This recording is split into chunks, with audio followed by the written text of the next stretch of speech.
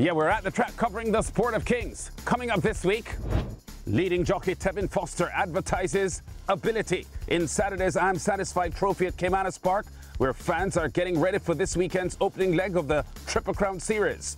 Guineas Triple Crown action too this weekend at Trinidad and Tobago's Santa Rosa Park. But this undefeated top two-year-old last year will be missing. And Barbadian trainer Saffie Joseph Jr. links up with Hall of Fame American jockey Mike Smith the result? A stakes win at Lone Star Park in Texas. Plus the usual check-in on Caribbean success in North America. We're kicking things off in Jamaica. Saturday's main event at Caymanas Park, the I Am Satisfied Trophy, honoring the former Horse of the Year and 2000 Triple Crown winner. Seven runners going in the six furlong sprint, among them the favourite, the four horse Wall Street Trader, on a two race winning streak with Robert Halledeen aboard. And number three, Ability, the 2023 Upset Derby winner, out for his first run for new trainer Fitzgerald Richards leading jockey Tevin Foster aboard the four-year-old colt for the first time. There's the field. Number two, Am Fred, a 5 to 1 bet. Three abilities, a 2 to 1 second favourite. 6 to 5 for the top choice in the four box. Wall Street Trader. Good betting support as well for number five, Atlantic Convoy at 3 to 1. And the seven horse Bootylicious at 7 to 2. Let's get Brand Rickman's race call now. They're off for the I'm Satisfied trophy. Ability just came out behind them. Going for that lead, I am Fred toward the outside. Bootylicious now sprinting through as they make their way down the backstretch. I am Fred chasing. Yellowstone right there on the rail. Wall Street Trader hidden from view in between horses. A gift from Ben racing out wide. Ability now says go and begins to make gains on those leaders. Atlantic Convoy is left at the back of the field.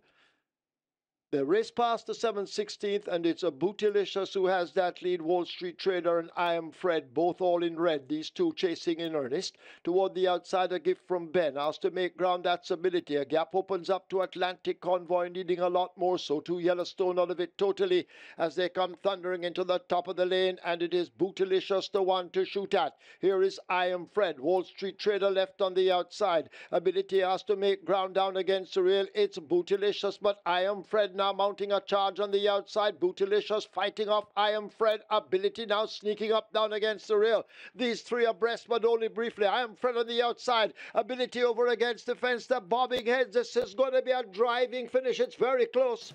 After being lost out of the starting gates, Tevin Foster's smart and patient ride gets ability home with a rail run, edging Amfred at the wire. Second consecutive Am Satisfied Trophy win this for leading jockey Foster, who scored last year aboard Richie Azan's Perfect Brew, and he closes an afternoon three-timer with this win. Ability ships from the Patrick Lynch barn and gets a second win in three starts so far this year. As a 2-to-1 bet, last year's Mute Mile runner-up ability bred by reggae superstar Calvin Scott, aka Cocoa Tea, wins by a head for trainer Fitzgerald Richards, achieving 150 career wins with this tramp. Ability clocks 1 minute 12 and 1 fifth of a second for the 6 furlong Am Satisfied trophy.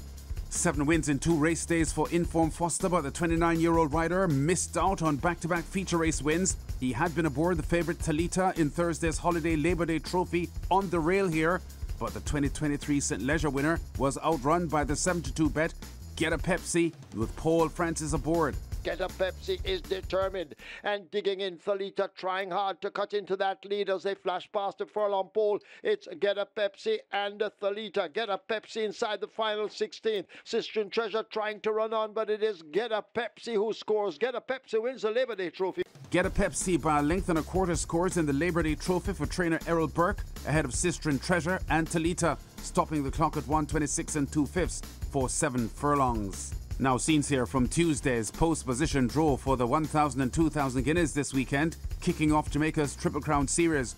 12 entries for Saturday's Fillies Guineas.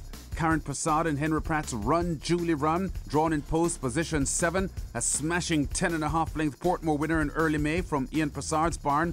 A 4 to 5 morning line favourite here. The one horse Fast and Furious Links, who was second in the Portmore. And number 3, Come Home to Me, the Thornbird Stakes runner up among Run Julie Run's main challengers. In Sunday's Colts and Geldings 2000 Guineas, the impressive Kingston winner, interest in times ahead on a four race winning streak, an irresistible favourite drawn in the six box. Sir Howard Stakes winner Allegiance in the one box, Prince Consort Stakes runner up, Crown Chaser, drew post position 8, and in the nine box is California Crown, undefeated in two starts. Big trainers prominent here. Three time champion Anthony Nunes has four starters, and reigning champ Jason DaCosta with three in the nine horse field. Now, Trinidad and Tobago's Triple Crown Series kicks off this weekend as well at Santa Rosa Park with a Guineas on Friday's holiday. And disappointment for Ruth Ruthven Smiths headlines again, undefeated as a two year old last year, but injured and misses out on the season's first classic. Only five starters here. Another notable absentee, two-time winner El Rey Sanjay, also out of the ninth furlong Guineas with an injury, leaving Uncle Rog, the one horse, as a huge 1 to 9 morning line favourite for champion trainer John O'Brien, eyeing his third straight Guineas win, with number three Red Alert and number five Secret Pages considered the main challengers. Let's head up north now to Lone Star Park in Texas, USA, where the American Hall of Fame jockey Big Money Mike Smith and the Barbadian trainer Saffie Joseph Jr. won with their first ever starter together. And it came in Monday's Memorial Day Sprint Stakes. The 58 year old Smith is based on the West Coast and Joseph stationed on the East Coast in Florida, both linking up in the South Central state for the $100,000 event with the 1 to 5 favorite Spirit Wind. Smith and the Blue Silks cruising to the front, coming off the final bend. Spirit Wind goes right on by.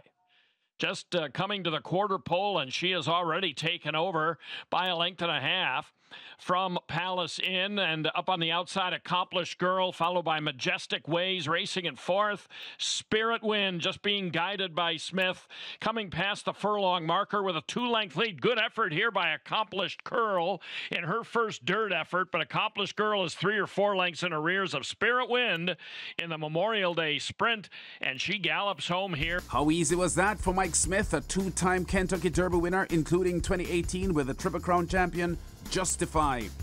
Saffie Joseph, currently number 8 on the trainers list in all of North America with horses earnings of over 5.22 million US dollars and closing in on 100 stakes wins in the USA and Canada.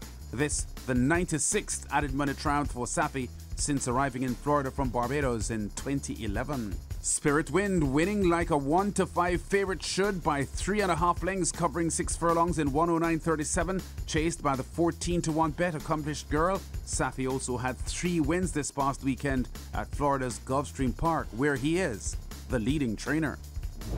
Our usual weekly tally of wins for the Caribbean in the USA and Canada before we go. In the past week since our last show, I've counted 6 to 4 victories. Yes, 6 to 4. Those numbers increasing now because the Canadian tracks have now opened for the 2024 season. Among the winners, the Jamaican jockey Romero Ramsey Mirage. He had four winners at Aqueduct. Four winners, two at Thistledown for the Barbadian jockey Rocco Bowen. The Jamaican jockey Orlando Foster had a Saturday triple at Lethbridge, and there were three wins Tuesday afternoon at Assiniboia Downs for the XTNT champion jockey Pravin Badri. We've been at the track covering top stories and exciting races in the sport of kings.